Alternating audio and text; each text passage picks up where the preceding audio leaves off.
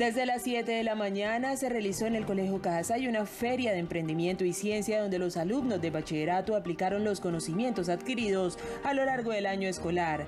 La profesora a cargo del evento amplió la información. Estas son ideas de negocios que nacen desde su creatividad.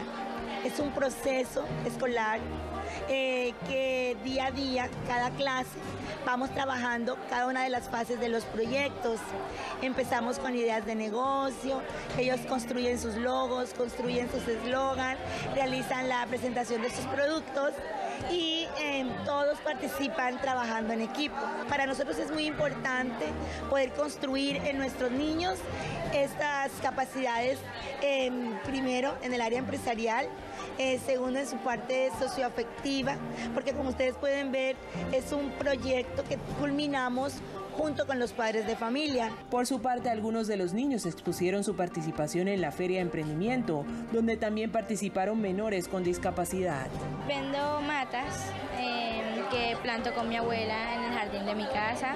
Eh, lo hacemos con toda clase de cosas, compramos materas, eh, cosas reciclables como botellas, las cortamos, las pintamos.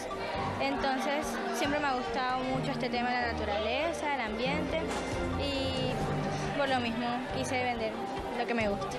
El proyecto que desarrollé con mis compañeros fue un motor magnético a base de un imán con una batería, dos ganchos y un alambre de cobre que funciona para dar energía y dar calor al mismo tiempo.